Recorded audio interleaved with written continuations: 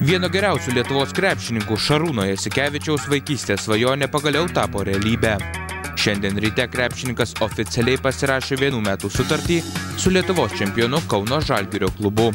Aš irgi labai laimingas, kad pagaliau pavyko užbaigti dėrybą su Žalgiriu. Šito kažkaip norėjom kokias 2-3 savaitės, tik visas kortas čia sumaišė tas čempionatas ir, ir agentų darbai.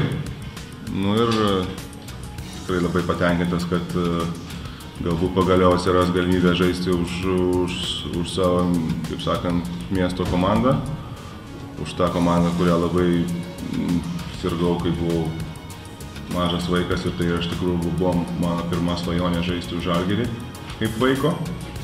Nu, ir tikiuosi, kad aišku galėsiu kažkiek tai padėti komandai ir reikės eiti į formą ir taip toliau, bet galbūt savo žaidimu galėsiu dar kažko ir padėti savo miesto komandai. Žalgiryje Jasikevičius uždirbs nedaug lyginant su tais kontraktais, kokius jis yra turėjęs Europos granduose. Pagal rinką ir pagal tai, kiek jis yra žaidęs ir kokius kontraktus turėjęs, tai taip.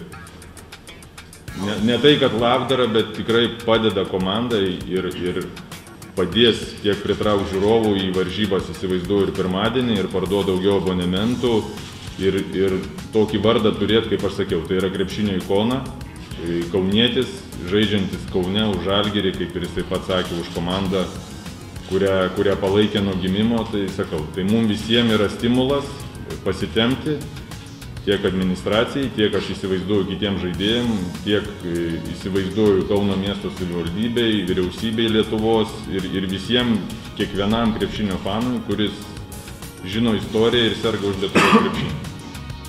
Krepšininkas komandai turėtų debituoti jau pirmadienį vykstančiame sezono atidarimo mače su Kazanės Unix ekipa. Taip pat renginyje buvo pristatytos naujosios Žalgirio sezono aprangos.